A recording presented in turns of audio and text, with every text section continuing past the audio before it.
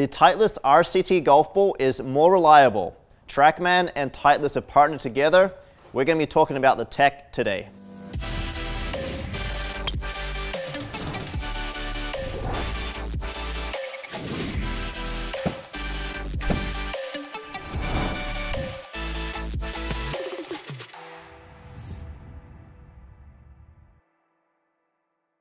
Hey golfers, it's Thomas Campbell, Master Club Fitter at Second Swing. Today I'm joined by Dustin Arnold. Dustin is a rep for the Northern Territorial Plains, essentially. Yep. Um, and we're going to be talking about the RCT Golf Ball and TrackMan. It's a very, very exciting time. I know Absolutely. that we've got some great tech here working together. Definitely. Yeah. So uh, to give you a little bit of the, the story, um, this journey started uh, two, two and a half years ago with Titleist and, and TrackMan partnering uh, to create a golf ball that is uh, specifically designated for a TrackMan unit. So this journey started in uh, probably 2019. 2020, we actually had a prototype uh, that we were testing at the PGA show. And as we all know, uh, there's some uh, unfortunate, unfortunate circumstances throughout uh, the world, and that kind of put some delays on uh, what we were able to do with this golf ball. Uh, but through uh, years and years of testing and, and, coming up with a variety of different patterns underneath the cover uh, for that uh, material to, to be reflective to the radar, uh, and, and, again testing with, with multiple facilities throughout the United States and throughout the world, we've been able to come up with a golf ball that was released this week, specifically designed to work with TrackMan. The RCT stands for Radar Capture Technology. Um, and uh, yeah, we're, we're here to show it to you today and uh, see what the results are. Yeah, RCT or really cool Titleist. So yeah, so we both have the Pro V1 and Pro V1X golf balls. Mm -hmm. These are the two models that Titleist is beginning with with regards to partnership. Um, so we at Second Swing, we will be using these in our in our tour vans for all our, all our fittings. Um, so we rely on data as if we, we want to make sure we give the customer the best experience, fit them into the right golf club, Absolutely. right equipment and like that. So we're going to be testing today. We're going to be doing a little bit of test. Um, now, in the past, we've used a golf ball that's had like a silver dot on it. Correct. I want you to touch a little bit on that on that silver dot versus say the RCT golf ball. Let's face it, I mean, the silver dot is still being very good inside, right? Correct. Yep. So there's no change in accuracy when the spin rate is measured. Um, so that metallic sticker that sits on a golf ball, uh, the disadvantage to that is it falls off, right? Uh, it's not positioned correctly. Um, so it does have to have some unique uh, things for it to work seamlessly. This golf ball, as you can see on the back of the, uh, the box here, has a specific pattern underneath the cover.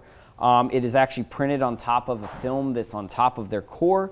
Uh, and this allows the golf ball to be placed effectively in any situation, uh, you know, any orientation, and it's still going to measure that spin rate at 99%.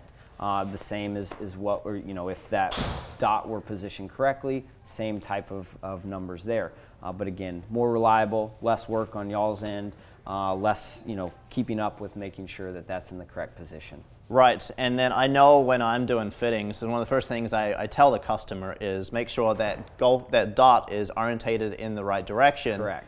Five swings later, it's you know they're hitting the face of the driver. It's you know they're hitting the silver dot off because they're placing it right up against the club face, and then right. that silver dot's gone, and they just forget about it and forget about it. And I think they're probably a little bit nervous. You know, they're coming in for a, for a fitting and they're trying to get fit, but they forget about the need for that silver dot being placed in the right direction. So Correct. now we don't have to worry about that with the RCT golf ball, which is going to be really exciting. Absolutely. Uh, so for today's test, we're going to do some testing. So mm -hmm. I always I always like to do the testing. Yeah. Um, I have a couple of different options. We, first, we've got the RCT golf ball. Mm -hmm. We're going to be testing that versus the silver dot. So I want to see if there's any differences in, in numbers. Believe the consistency. We're talking about 15 RPMs, right? Correct. Yep. When it's measured. When, it, when it's measured, yep. 15 RPMs. If it's italicized, I think believe it's around about 200 RPMs Correct. is kind of guessing. Yep. So I want to test all three. I want to test the golf ball without a dot, with the RCT, and with the silver dot on the ball. and I want to see what happens. Definitely. And finally, I want to, you know, there's been a bit of a conversation with regard to spin axis. Mm-hmm. Now, I want to use the RCT golf ball here, and I want to maybe intentionally hit a hook, hit a draw, and see how that measurement is with regards to the spin. So I'll hit some seven irons, I'll hit some drivers, and we'll see how the tech works. Perfect. All right, so Dustin, first off, I'm going to start off with the Silver Dot 7 iron. Uh, so Silver Dot's just going to play slightly facing towards the screen, um, slightly up facing towards the screen. Correct. Yep.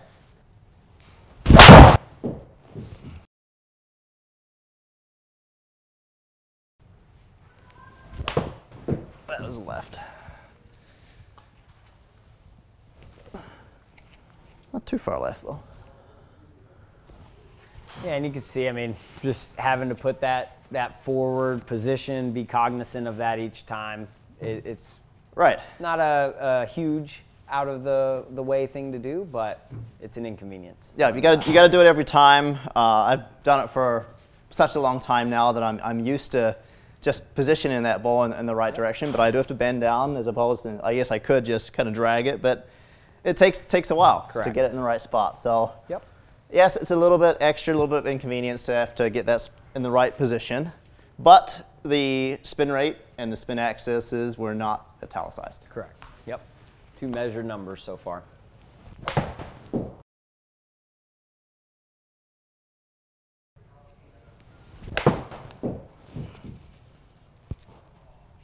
A little lower, yeah. Yep. There we go. Still all, all measured so far to this point, though. Right. Which is good yeah. to see. So we could probably pull up those four shots just to kind of take a look at those and just show that we had we had nothing there that was like italicized. Absolutely. Everything was measured accurately. So yeah, 63, 81 spin axis. Negative 6.9. No, 6.9. So to the left, another one to the left, 61, 69. Um, we go, yep. That one one left the right. face. I mean, just a little push block. Actually, the ball's going to spin a little bit more on that shot. Yep. The spin axis actually was positive, so it was to the right. Certainly. And then uh, 59, a little bit more of a, of a draw and a little bit more of the numbers that I'm maybe more used to seeing. Yep. But, yeah. Absolutely.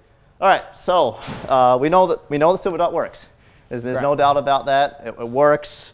Uh, it's consistent. It's measuring accurately. Yep. Okay, so before we do the RCT, I'm just curious because I actually haven't really hit without the silver dot. Yep. So I'm actually curious to see what happens here, just to see if there's you know that impor- importance for that Certainly. with the seven iron.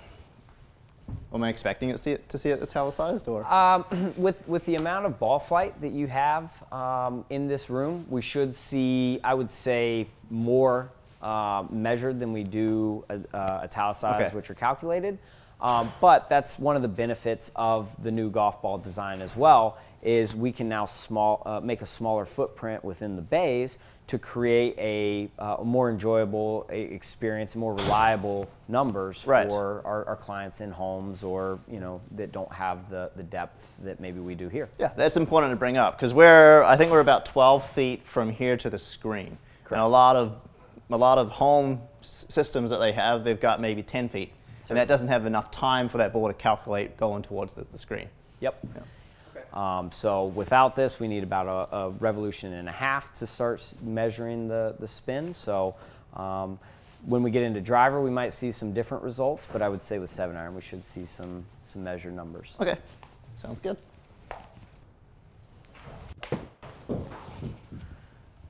Good move there. So both measured, Right. Yeah, and then it also will come down to how fast a person's swinging too, right? absolutely. Like if a golfer has less speed, it's going to probably take longer for it to get to that screen. And then probably a good chance it's it's probably going to be measured even without the silver dot. Correct. Yep. Same thing, I guess, as a seven iron versus a driver. Exactly. For me, you at Start getting into faster swing speeds, regardless of the club, and that's where there's less time uh, or less spin happening in those initial moments of flight. So, um, yeah, absolutely, we should see some some slower swing speeds still measured, even with driver in a space like this. Okay.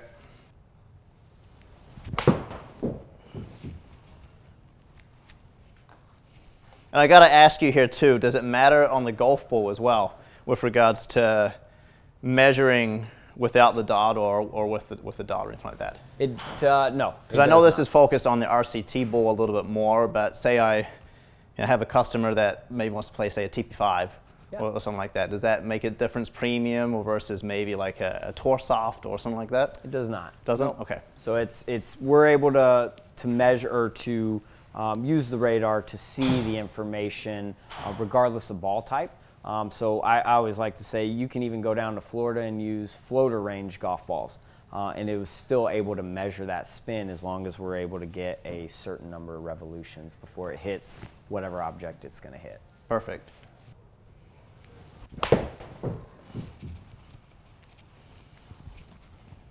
Good.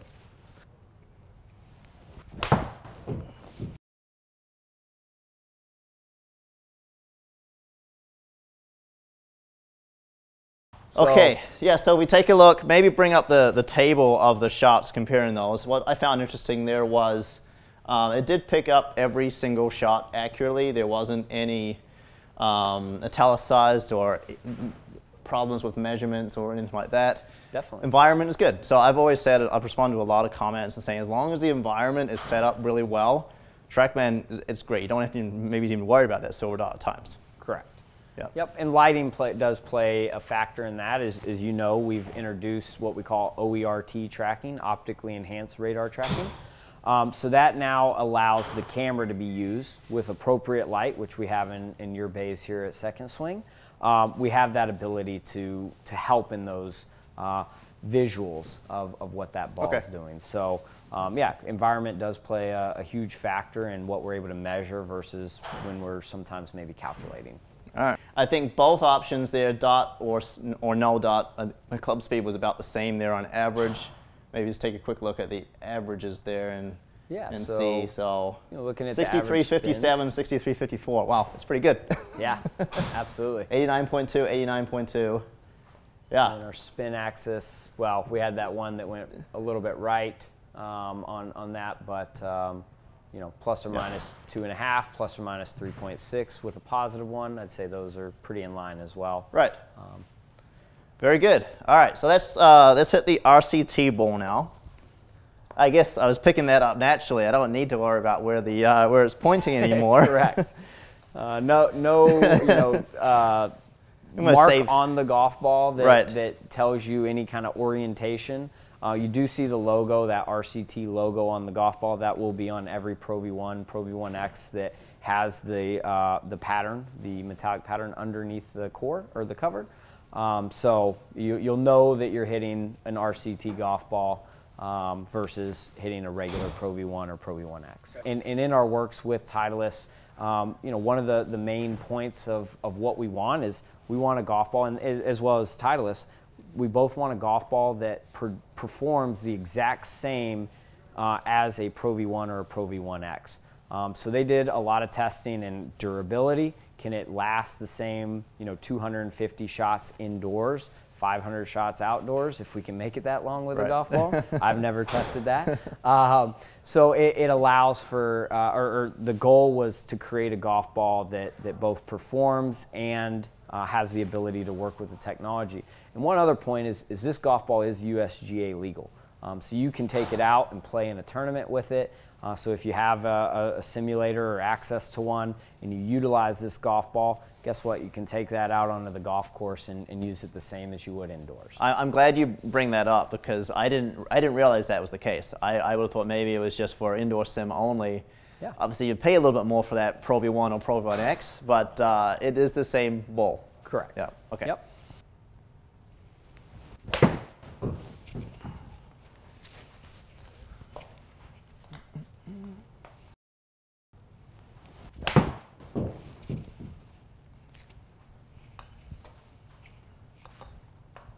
Great.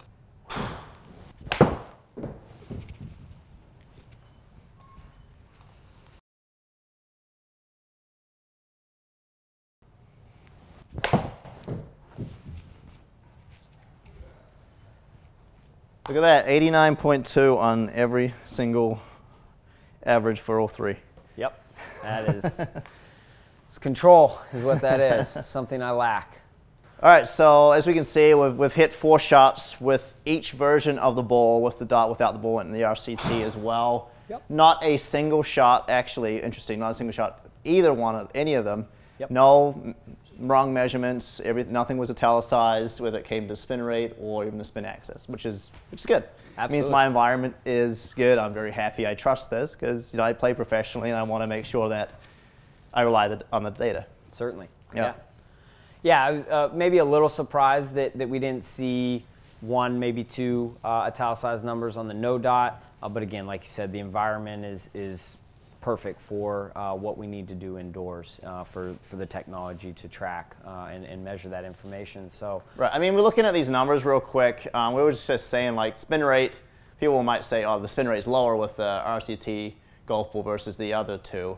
There's so many things that can go into that. I mean, you can see I had a little more ball speed there. My efficiency was a little bit better. Um, my attack angle was probably a little bit different. There's just so many variables that go into it. But all we can say is it was it was measuring it accurately, and also face angle, just where the ball's going, how it's flying. It's just Absolutely. yeah, it's going to be different. I might have caught one here, I might have caught one here. There's just so much that goes into it. So Yep. the good news is we know this data is accurate. It's measured accurately, regardless of whether we had the dot on it or we're using the RCT ball. Yep. Yeah, you can you can rely on the data um, regardless of, of the golf ball that you're using. Having the RCT is only going to help be more confident in, in the numbers that you see in front of you. Uh, and then, like we've discussed, as we get into these faster speeds, now we'll, we should see a little bit more of a, a difference in regards to the, the way things are measured versus calculated. Um, and, I, and I think that's where we'll see some nice surprises with the golf ball. All right, well, that's it, some drivers. Absolutely.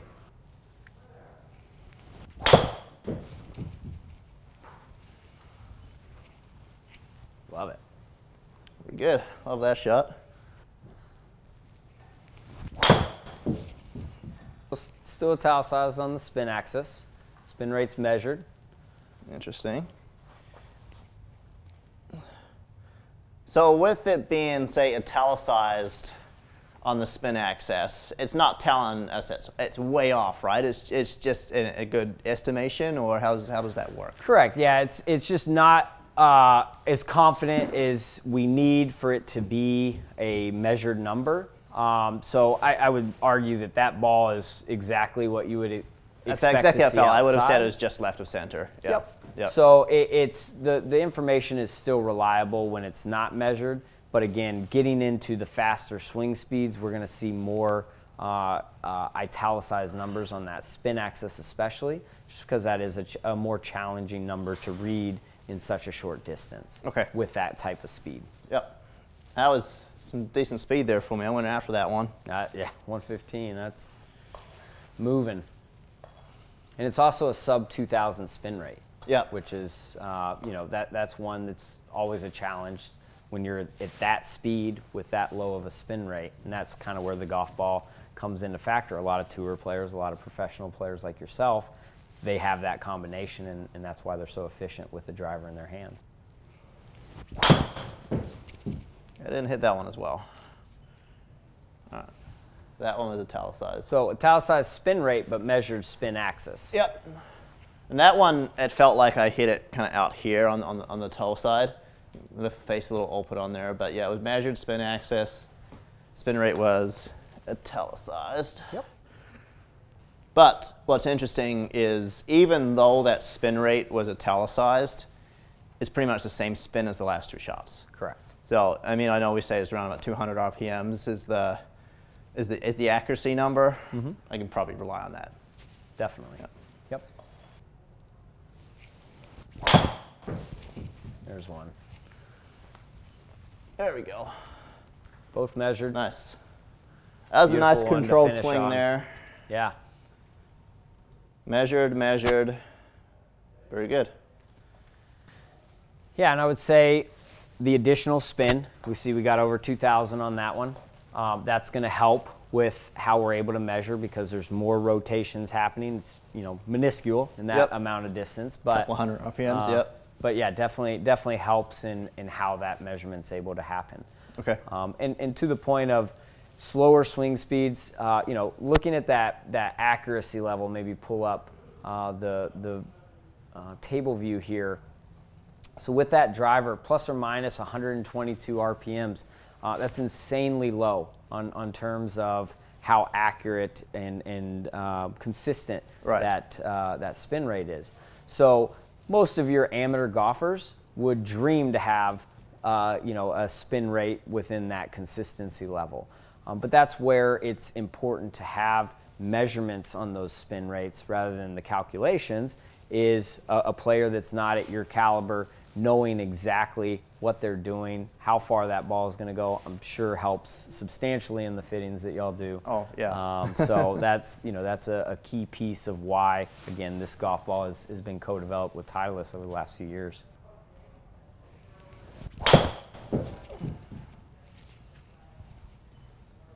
All right, we got one there that is italicized on the spin, but it was not italicized on the spin axis. Yep.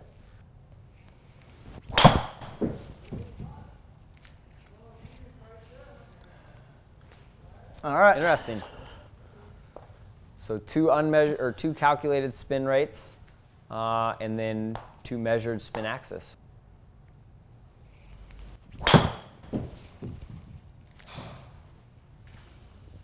You're just too fast. So Yeah. it's it's having a tough time. Now, I will I will also say, um, you know, spin rates on these have been lower than the others before. Um, we also see the spin loft is is a smidge lower, especially on that one. Um, so that could be throwing a, a bone in there, and just that all sub 2,000, no dot. It's having a tougher time. having a tough time, Read yep. that, but um, again, I would I would argue that these numbers are reliable enough for player your caliber to go out and, and trust that that's what you're going to see on the course as Right. well. I mean, we're talking still about 200 RPMs. Correct. I mean, we talk about that that range there, and the carry distance. I'm looking at the average carry distance is about 289. I think that's what it was when I was hitting the, the ball with the silver dot on it. Anyway. certainly, yeah.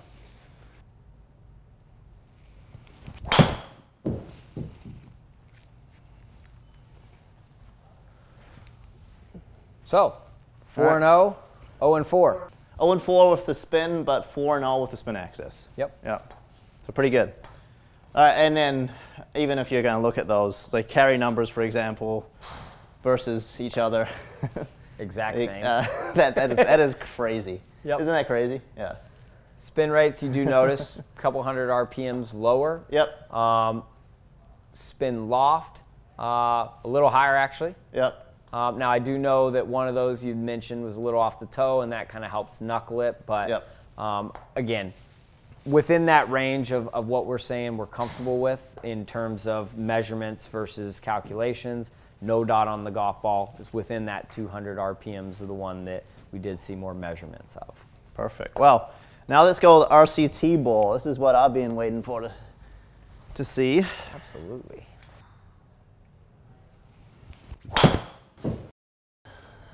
Good there. I mean, again, the exact same yardage to it to the point Yep. um, that, that we've seen before. Measured spin rate, uh, spin axis uh, italicized, so calculated there. Yep. Um, So my club path was three degrees in uh, basically the exact same. yep. Um, I must have hit that just slightly on the toe of the club. Yep. That's why that's saw that saw that gear effect bring Yeah. it back and could see some some uh, calculations going on there. Yep. Really, I mean, not much curve at all, but it's No. just a couple of feet.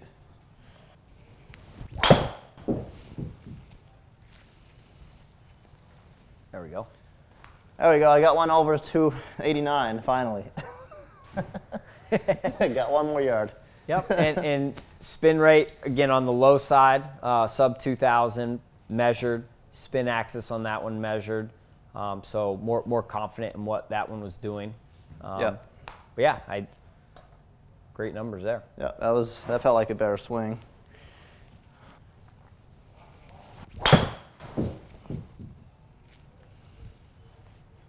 Beauty. That was a good one there too.